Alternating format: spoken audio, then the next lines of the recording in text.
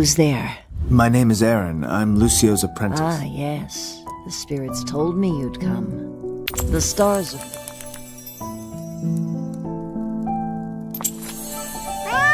Have you brought me what I asked for?